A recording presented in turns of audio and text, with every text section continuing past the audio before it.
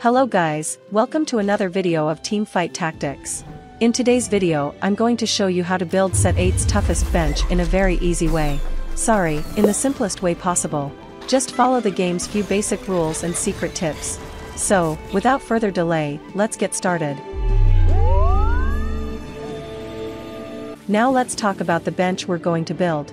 It is the real threat bench. Now we all know that the threat bench includes champions from tier 3 to 5. A lot of questions came up from this bench like how do you find champions in the early game? Or I was defeated before I could finish. So what is the solution for this? Can I get them? And can we win the game? The answer is yes. We'll show you a secret trick to help you build all types of benches.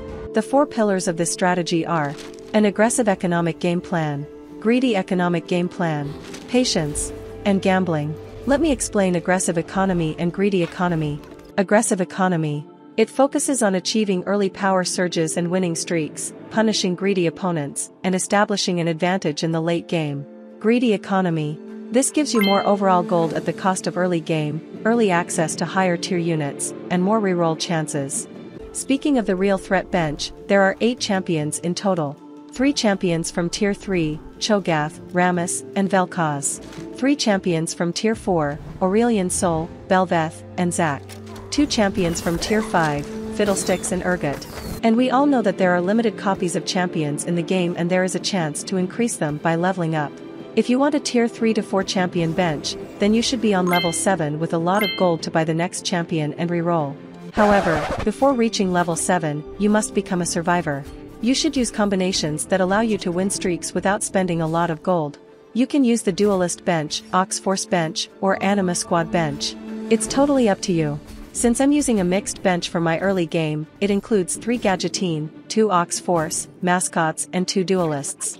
So, I'm going to make a solid bench for a winning streak in the beginning and use it until the end of the third round. Start with Duelists and Mascots. That would be a good start if you want to save gold and HP as well. We need a bench to lean on for the next two rounds. So when you get to level 5, remove the mascots to convert benches to Gadgetzans, Ox Force and Duelists. I chose Gadgetzan because of the unbreakable poppy and the complete item they offer. Time to place some items. Kyle with Warmog's armor.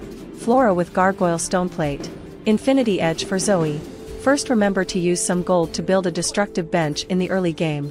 Therefore, you can earn more gold through winning streaks. After reaching level 6. We look forward to welcoming Yuumi again. Because we didn't get the augmentation we needed for the real threat bench. First, I chose the heart of the mascot. Then Axiom Arc 2 gives my unit 30 mana for every kill. This is the second third of a game where I don't need to play aggressively, so it's the perfect bench to conserve gold and build a winning streak. The chances of getting a tier 3 champion at level 6 are pretty decent. So we won't be buying XP to maximize team size, but we'll focus more on rerolling to make our tier 3 threat champion stronger. Now, you need to understand the right time to switch benches slowly, as random changes can cause very serious losses. So, if you make 2-star copies of at least 3 threat champions, you can remove the gadgetines or combinations in use, one by one. And then again continue with the rerolling process. Now, the last and most important part of the strategy. Patience and gambling. One thing to keep in mind when rolling a level 7. Buy both level 4 and level 3 champions, then trade them. Doing so will increase your chances of having a tier 4 threat champion on your bench, as I said this game has limited copies of champions. Now you need to use threat champions and remove other comps to make room on the bench. So for me, Gadgetzan would be an obvious choice not to go with. And finally the third augment. Elastic Slingshot. This gives me a Zac and sort of a hacker ability where I can throw champions into the opponent's backline and stun them for plus 3 seconds. I want to avoid Mother, but we can't control the augmentation. And with this trick, you can fully upgrade 3 threat champions. However, the placement and selection of items plays an important role in your victory. We will put Jeweled Gauntlet and Gargoyle Stone Plate on Rammus. Dragon Claw, Gargoyle Stone Plate, Infinity Edge. On Cho'Gath. Static Shiv on Vel'Koz. Warmog's Armor, Dragon Claw on Zac. And on Fiddlestick, you can put whatever you want on it. So, keep practicing gambling tricks because it will lead you to victory.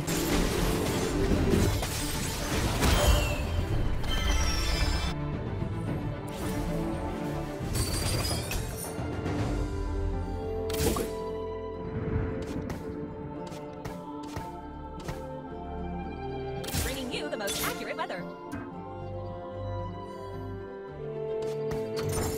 I will use you well. You are eating fast.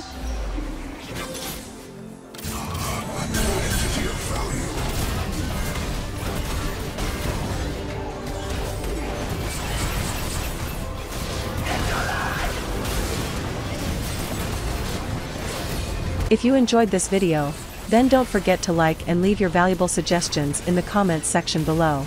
Follow us on social too for more updates. Link is in the description. See you in another video, thank you for watching.